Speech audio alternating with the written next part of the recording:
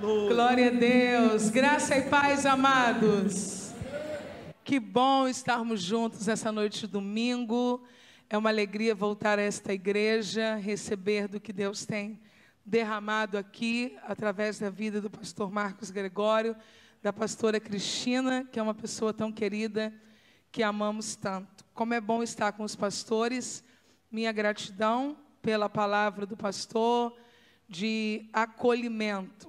É sempre muito bom quando Deus nos dá novos encontros, encontros que curam, encontros que saram. Pastor, gratidão por cada palavra. Queridos, há no meu coração nesta noite o desejo de compartilhar com esta igreja um texto bíblico. Eu sei que os irmãos estão em um propósito, em uma campanha, e eu estive orando por esse nosso encontro e quero compartilhar com vocês um dos textos que mais tem abençoado a minha vida, que é o Salmo de número 46.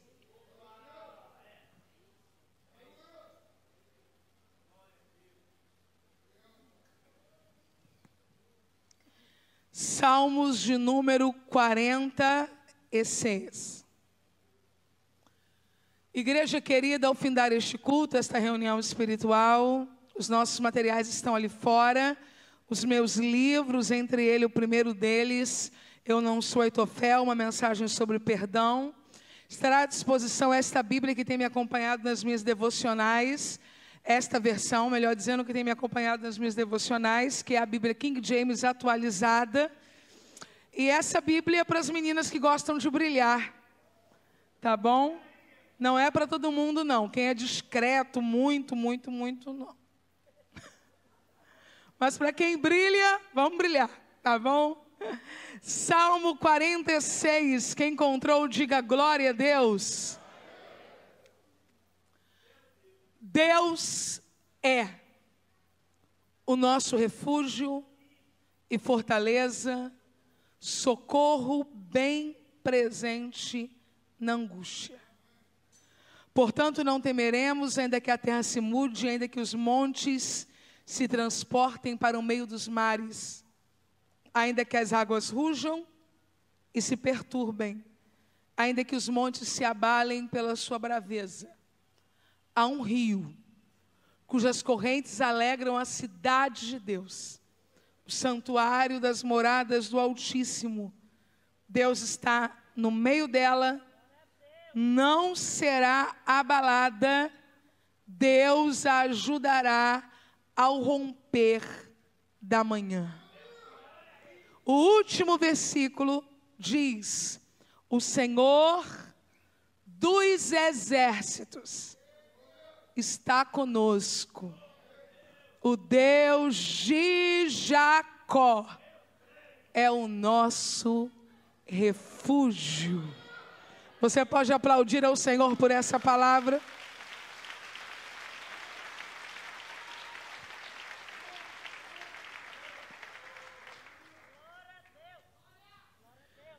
Queridos, o Salmo de número 46 é inegavelmente um dos salmos de guerra da Bíblia. É um cântico que expressa a confiança em Deus em dias de guerras. O Salmo de número 46 exalta uma fé que é inabalável. Nesta manhã, eu ouvi de um adolescente de 12 anos algo que me marcou profundamente. Ela disse que uma grande fé e uma pequena fé não está relacionada a tamanho, mas a duração.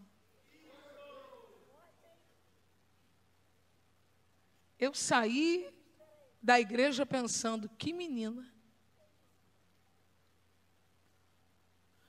Qual nível de fé mantemos quando as dificuldades se apresentam? Quanto tempo dura a nossa fé.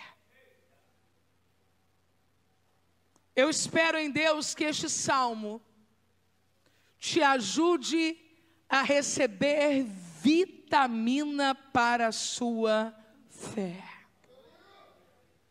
Deus é. Podemos dizer isso juntos no 3, 1, 2, 3. Deus. Deus tem existência real. Deus é.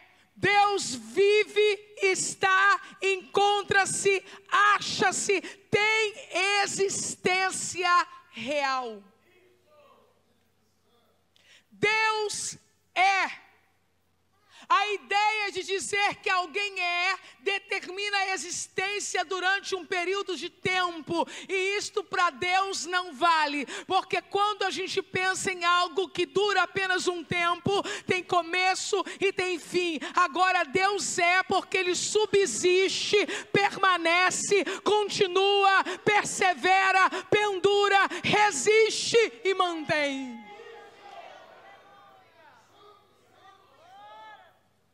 Novembro de 2020, com tudo que temos vivido, eu vim dizer ao Ministério Apacentar de Nova Iguaçu: Deus persiste, persevera, perdura, resiste, Deus é. Refúgio refúgio e fortaleza. Refúgio e fortaleza. Helena, é a mesma coisa, não. O refúgio é contra o perigo, a fortaleza é contra o ataque ataque. Quando eu estou no refúgio, eu estou guardada do perigo. Quando eu estou na fortaleza, eu estou guardada do ataque. Deus está dizendo: se há perigo, eu sou, e se há ataque, eu sou.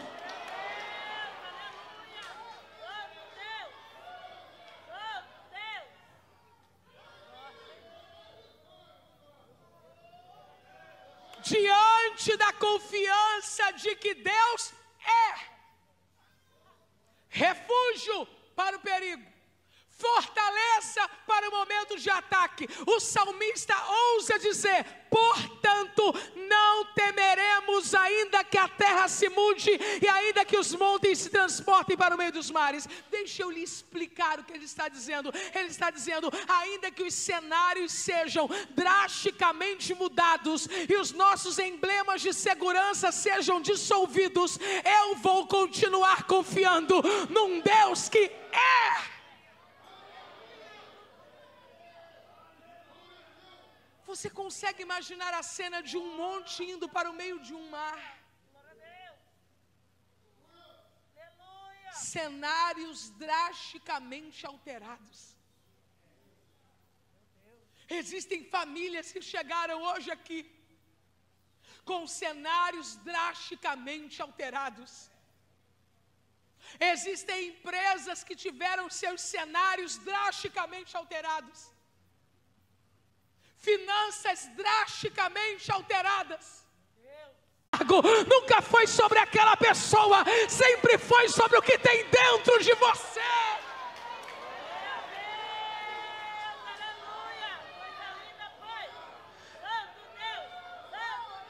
Há um rio, há um rio, Deus é o rio, há um rio, Deus é o rio, a trindade aponta para as águas.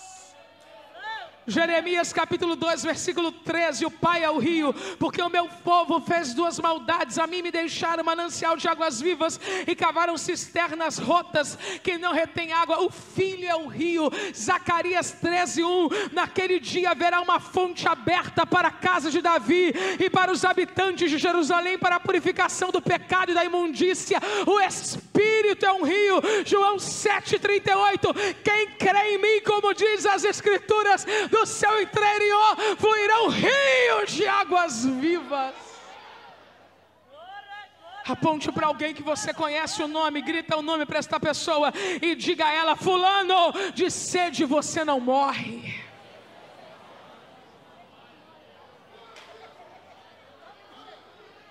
Preste atenção, olhe para cá. A cidade está cercada, na hipótese poética que o salmista levanta. Cortaram o abastecimento de água mas ele tem um rio nela. E no 5 ele diz assim: Deus está no meio dela, não se abalará. Deus ajudará ao romper da manhã. Ezequiel 48, 35. 18 mil canas por medida terá ao redor, e o nome da cidade desde aquele dia será: O Senhor está ali. Cercaram a cidade, cortaram o abastecimento, e o salmista diz: Deus está no meio dela. Vem comigo. Se a cidade for sitiada, vão sitiar a cidade com Deus no meio dela.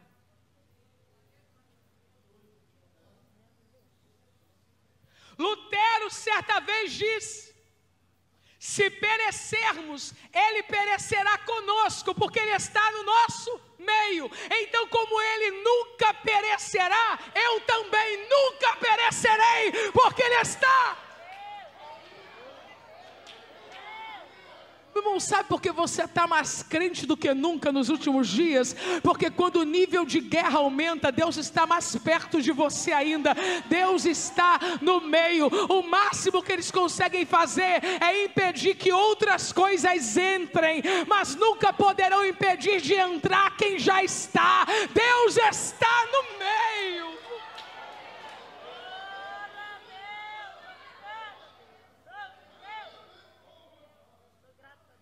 Deus ajudará ao romper da manhã. Quando o sol raiar, Deus já a estará ajudando. Eu vim entregar uma palavra para você neste domingo. Durma, porque o teu Deus não vai dormir. Eu vou repetir: durma, porque o teu Deus não vai dormir.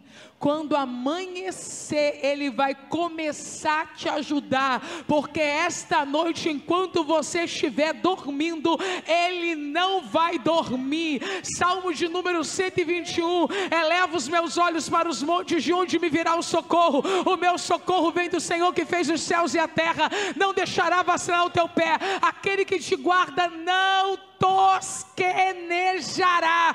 Esse que não tosquenejará, nem dormirá o guarda de Israel. Você sabe o que esse texto quer dizer? O teu Deus tem braço, o teu Deus tem perna, mas o teu Deus não tem pálpebras, os olhos dele não se fecham, nem de dia e nem de noite. Vai dormir, porque de manhã ele vai começar a trabalhar. Aleluia! Aleluia!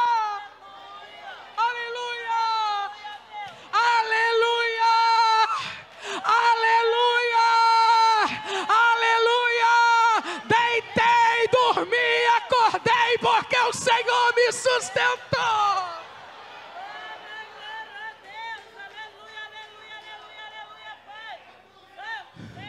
Os gentios se embraveceram.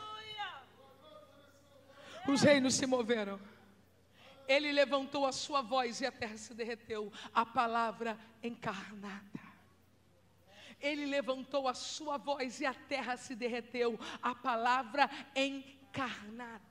Ele levantou a sua voz e a terra se derreteu. A palavra encarnada. Você não está sozinho. Quando você dá um passo, a palavra encarnada dá com você. Quando amanhece, a palavra encarnada está com você. Você precisa aprender a devolver a pressão. Não segura a pressão, devolve a pressão. Coloca a palavra encarnada na tua boca e começa a profetizar a palavra. Quando você acordar amanhã de manhã, não acorda com cara de quem já perdeu. Coloca o seu pé para fora da cama e comece a usar a palavra. Se Deus te encher, vai para a cozinha. Se Deus te encher, passa pela área. Se Deus te encher, levanta as duas mãos. E se você perceber que a angústia está vindo no teu peito para te paralisar, devolve a pressão. Como é que a gente devolve a pressão? Com a palavra. Ele deu a sua palavra e a terra se derreteu. Já está na hora de você marchar naquele quarto. Já está na hora de você guerrear naquela sala. Abre a boca e devolve a pressão. Aquele que habita no esconderijo esconderijo do Altíssimo, a sombra do Onipotente descansará. Não vai me engolir nessa segunda-feira de novo. Eu vou reagir. Não vai me paralisar nessa cama de novo. Eu vou reagir. Mil cairão ao teu lado, dez mil à tua direita, mas tu não serás atingido. Guerreia com a palavra.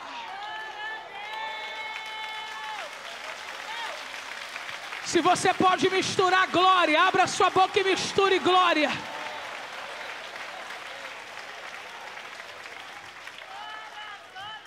O Senhor dos exércitos está conosco. O Deus de Jacó é o nosso refúgio. Eu estou em uma guerra e Ele é o general. E então aparece uma palavrinha entre parênteses. Selar. Selar é uma pausa musical, selar é um interlúdio. Sei lá, é um momento de silêncio na canção. Deus está dizendo, use a palavra e depois. Devolva a pressão, declare a palavra e depois. Profetize dentro da sua casa, passe no quarto, da cozinha, na sala, na área e depois. Entre no quarto deles na madrugada, coloque a mão sobre eles, mas de manhã. Respeite a pausa musical, porque enquanto você está pausado, Deus continua agindo. Quando o salmista pausa, ele volta mais forte. Então ele diz, desafiando os inimigos em redor: Vinde! Contemplai as obras do Senhor. Spurgeon diz: leia os jornais procurando o que Deus está fazendo em prol do seu povo. Achei isso incrível. Você precisa, em cada notícia recebida, procurar a ação de Deus em favor do seu povo. Eu tenho certeza que o testemunho que foi lido pelo pastor Marcos Gregório esta noite tem a ver com o que muitas pessoas viveram nesse período de afastamento social. Gente que no meio da crise experimentou a provisão de Deus num nível que não conhecia. Comece a procurar o que Deus tem feito em prol do seu povo, porque Deus tem feito alguma coisa. Se você não teve a oportunidade de ler os jornais hoje, quer sejam físicos ou pela internet, pelo menos olhe para a pessoa que está do seu lado, de cima a baixo, e você vai perceber o que Deus tem feito pelo seu povo. Esse irmão é a expressão viva do que Deus tem feito pelo seu povo. Ele faz cessar as guerras. Até o fim da terra. Quebra o arco e corta a lança, queima os carros no fogo. Ele faz cessar as guerras até o fim da terra. Quebra o arco, corta a lança e queima os carros no fogo. Ou seja, ele traz harmonia através do conflito. Ele traz paz através da violência, ele traz descanso através do tumulto. Quer dizer que o que você está vivendo não é o final da sua história, é a oportunidade que Deus precisava para estabelecer os desígnios dele. Quando você se vê em uma guerra, pense consigo mesmo: Deus vai promover através disso paz. Quando você se vê no meio de um conflito, pense com você mesmo: Deus vai atravessar isso, trazendo para mim harmonia. Quando você se vê no meio do tumulto, comece a perceber que Deus quer provocar descanso para você. Se as águas não se agitam, o mar não se acalma.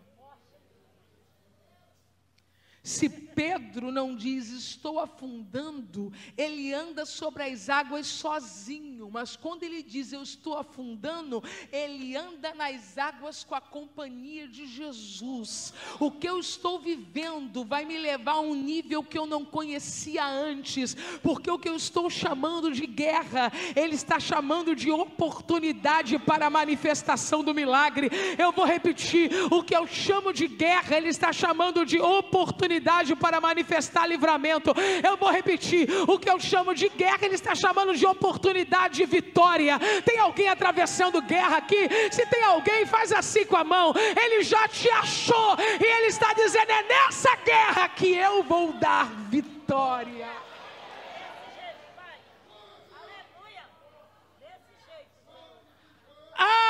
Aquietai-vos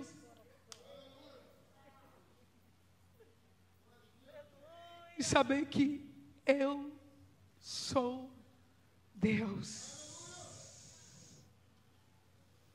José Cal diz: nenhuma palavra, não batalhe, nem responda. Tem hora que dá uma vontade de responder, né? Independentemente do que você vir, conserve a paz. Saiba que eu sou Deus e não presto conta de nenhum dos meus atos. Aquietai-vos e sabei que eu sou Deus.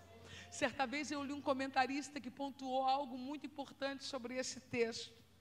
Ele diz que normalmente nós recebemos esse texto na vertente de que Deus está dizendo: se aquiete, eu. Mas toda a linguagem que o salmista está usando é um recado para os adversários. Você vai perceber que o tempo todo ele está desafiando os seus inimigos com um cântico de vitória. Podemos compreender que Deus não está dizendo apenas para que eu me aquiete, mas Deus está olhando para a multidão de adversários que se levantaram e está dizendo: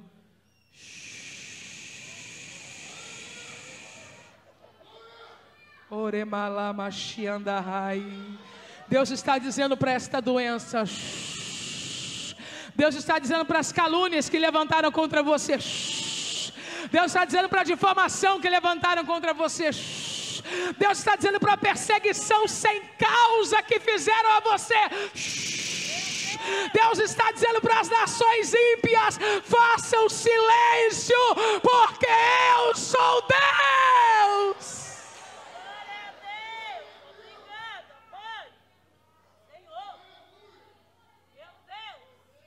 O Senhor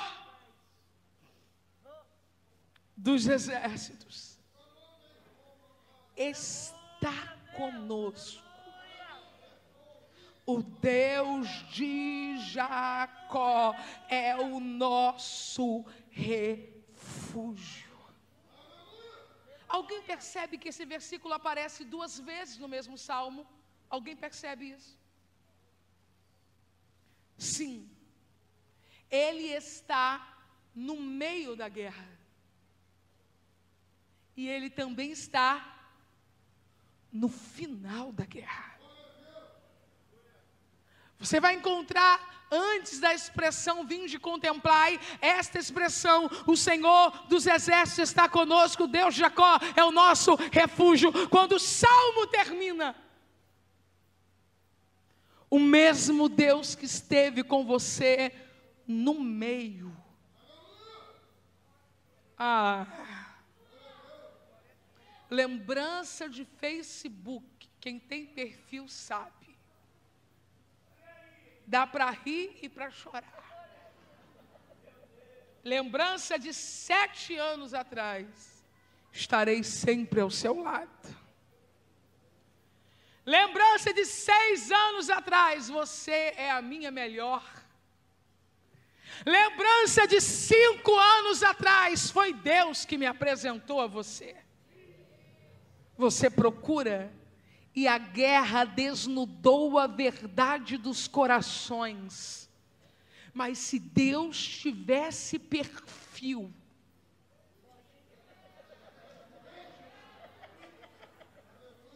Há dez anos atrás ele teria dito: Estarei com você. Há cinco anos atrás ele teria dito: Estarei hoje de manhã, ao ver o histórico dos anos anteriores, você ia perceber que não era um blefe. Ele nesta manhã se apresentou e disse: Eu estou com você. Aponte para alguém que você conhece o nome que é simpático. Se não for simpático, não mexe que é perigoso. Mas se for simpático, aponta para ele e grita: O melhor de tudo é que Deus está conosco. O melhor de tudo é que Deus está conosco. João Wesley, frágil perto da sua morte, declarou isso. O melhor de tudo é que Deus está conosco.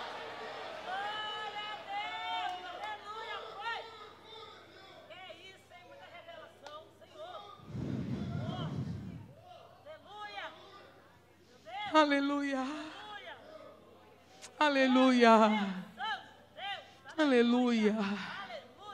Aleluia. Aleluia. Aleluia. Aleluia. Aleluia.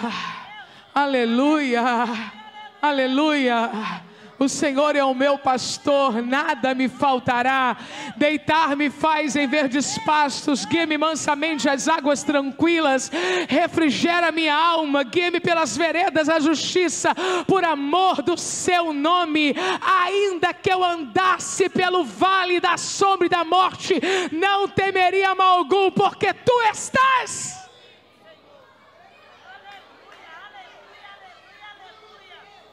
Vale vale da sombra da morte. Quem quer estar presente com a gente nesse momento? Quase ninguém. Se eu disser ninguém, eu estarei sendo muito, muito radical.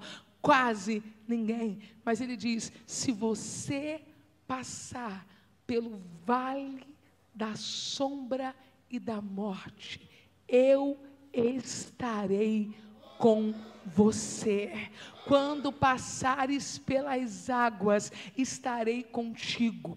Quando pelos rios, eles não te submergirão. Quando passares pelo fogo, não te queimarás, e nem chama arderá em ti. Eu tenho uma palavra para sua segunda-feira. Eu tenho uma palavra para sua terça-feira. Eu tenho uma palavra para sua quarta-feira. Eu tenho uma palavra para sua quinta-feira. Eu tenho uma palavra para sua sexta-feira. Eu tenho uma palavra para o seu sábado. Eu tenho uma palavra para o próximo domingo estarei convosco todos os dias até a consumação dos séculos. Você não está sozinho, Deus está com você.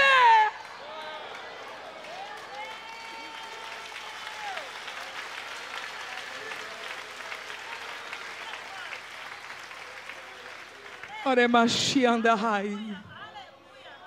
Orianda Bakanchwi Dehaya. Se você puder levantar as suas duas mãos e por pelo menos um minuto só glorificar o Deus que nunca te deixou, só glorificar o Deus que nunca te deixou, só glorificar o Deus que nunca te deixou, só glorificar o Deus que nunca te deixou, só glorificar o Deus que nunca te deixou, ainda antes que houvesse dia, eu sou, possa fazer escapar das minhas mãos, operando eu, quem impedirá?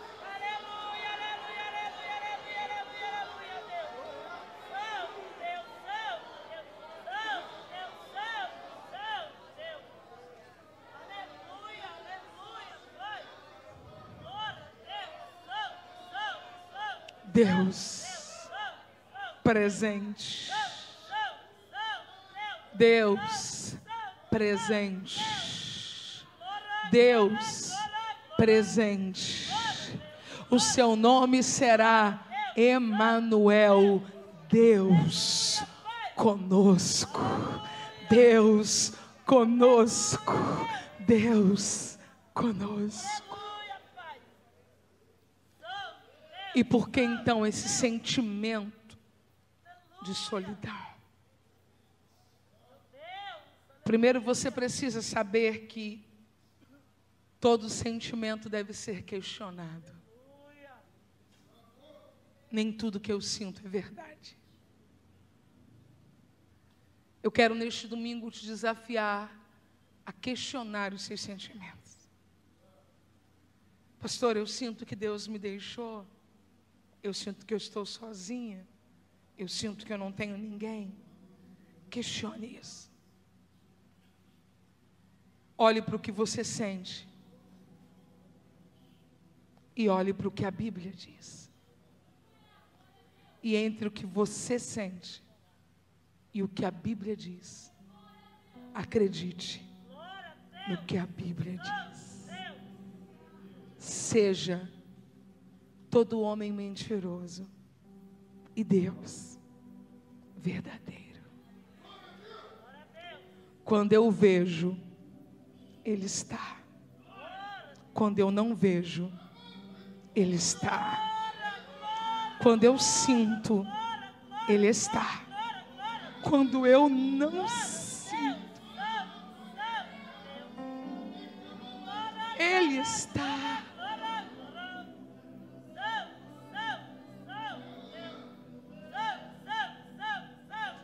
Elias estava dentro de uma caverna. Alguém aqui já se sentiu dentro de uma caverna? Muitas vezes.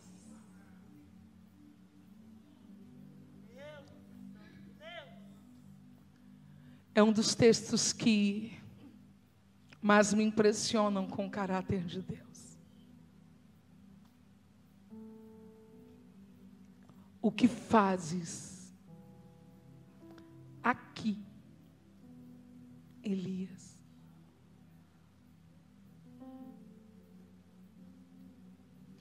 Os meus amigos, a minha família, os profissionais de saúde mental, normalmente, ao ver alguém na caverna, vão gritar de fora: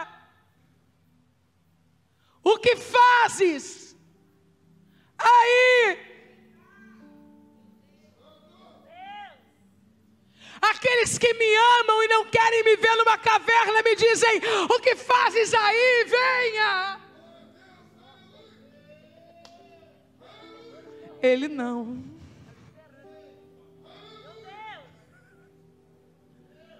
Ele faz assim, ó.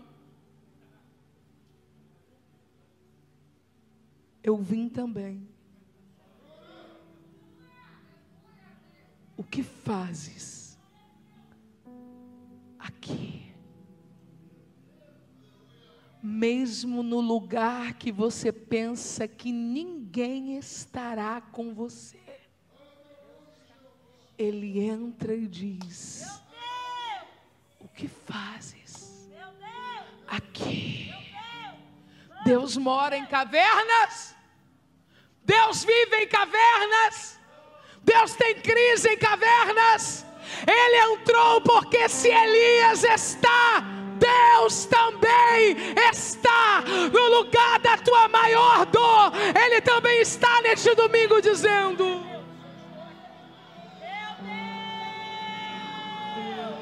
O que fazes aqui?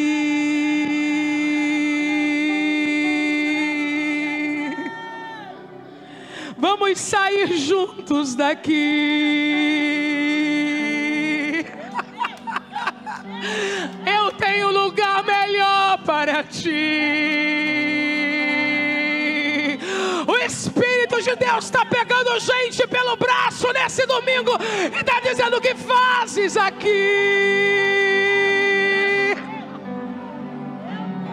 Vamos embora daqui.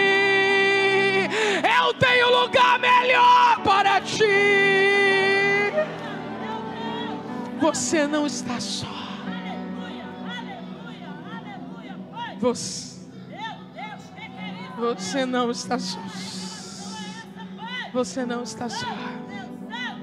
Você não está só. Você não está só. Você não está só. Você não está só. Se cortarem a água, Ele é o rio no meio. Se cercarem você, estão te prendendo com Ele. No meio da guerra, Ele está com você. E no final da guerra, Ele dirá: Eu ainda estou com você. Fique de pé. Orianda lama, xanda lama.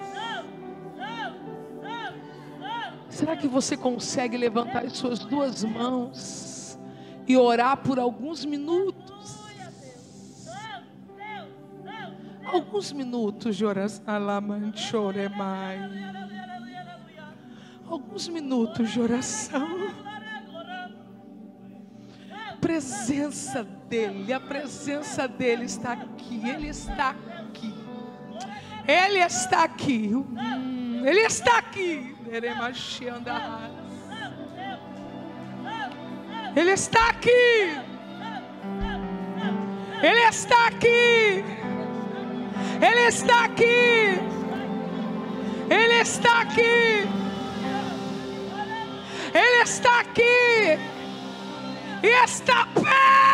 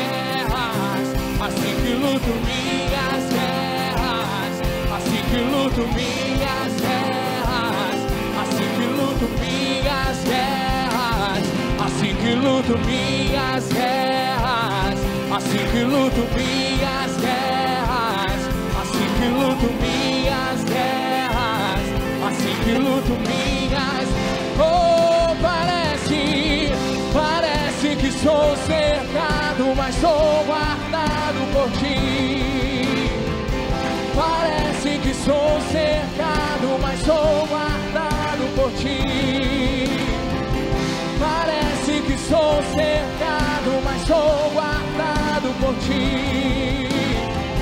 Parece que sou. Só as vozes, só as vozes ao som dos tambores. Diga, parece.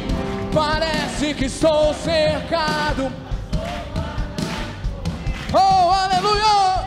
Parece que sou cercado, mas sou.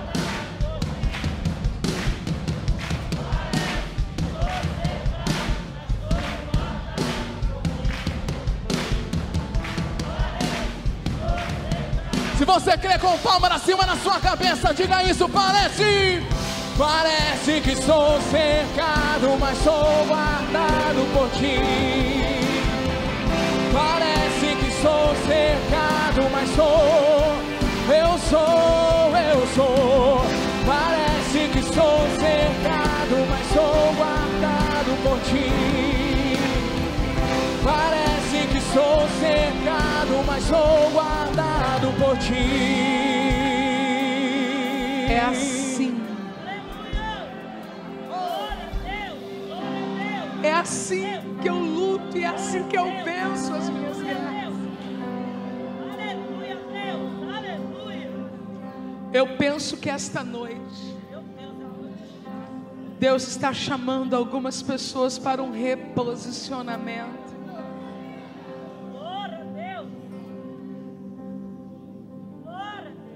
Pessoas que precisam se reposicionar no reino de Deus.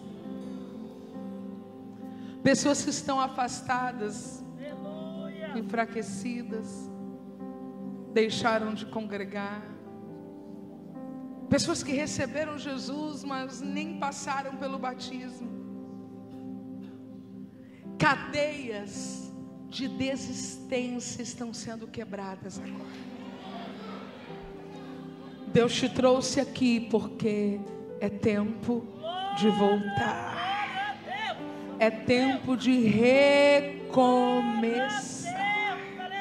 Saia do seu lugar agora, você que estava parado, afastado, desanimado, você que há alguns meses não tinha desejo de congregar, de estar no culto, de ser igreja, de viver a vida da igreja. Saia do seu lugar agora. Porque quando você se reposiciona, Deus se posiciona em seu favor. Eu tenho certeza que tem gente preciosa aqui, que estava parada, que estava desanimada e que precisa recomeçar. Saia do seu lugar e vem agora, em nome de Jesus.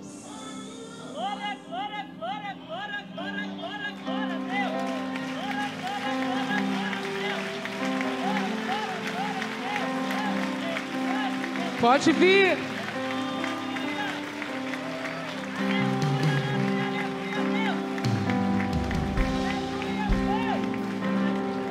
Pode vir.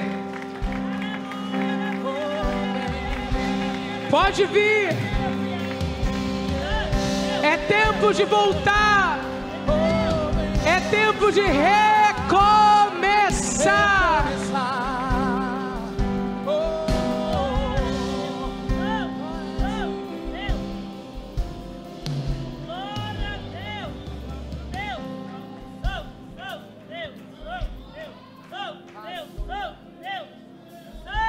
Tem mais?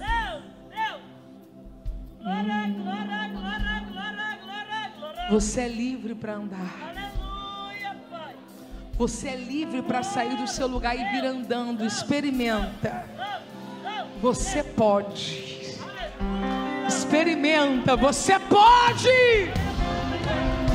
Você pode.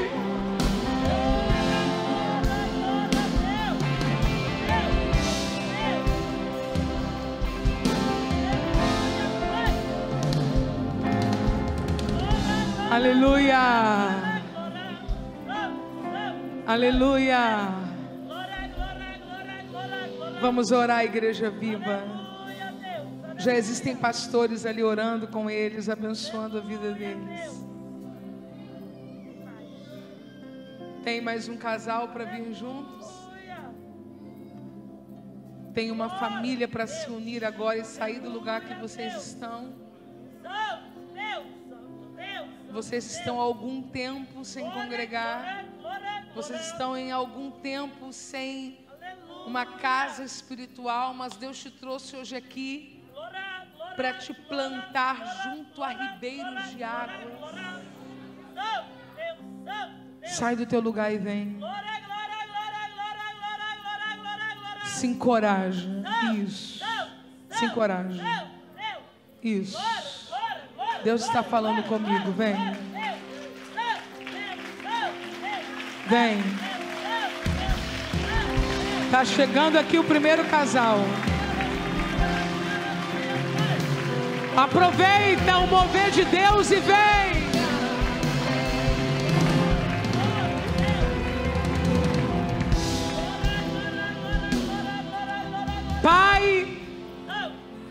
Eu quero glorificar o teu nome por essas vidas preciosas que estão de pé aqui no teu altar. Eu sei que em Cristo eles foram tirados do império das trevas e recebidos no reino do Filho do teu amor. Torna a dar a eles a alegria da salvação E que esse novo tempo que começa hoje seja mais poderoso do que tudo que eles viveram até aqui. Que aonde houver vazio, haja agora o preenchimento poderoso do teu espírito. E que o teu nome neles seja glorificado. Como igreja, nós os abençoamos em o nome de Jesus. Amém e amém. Você consegue aplaudir acima da tua cabeça? Parece que sou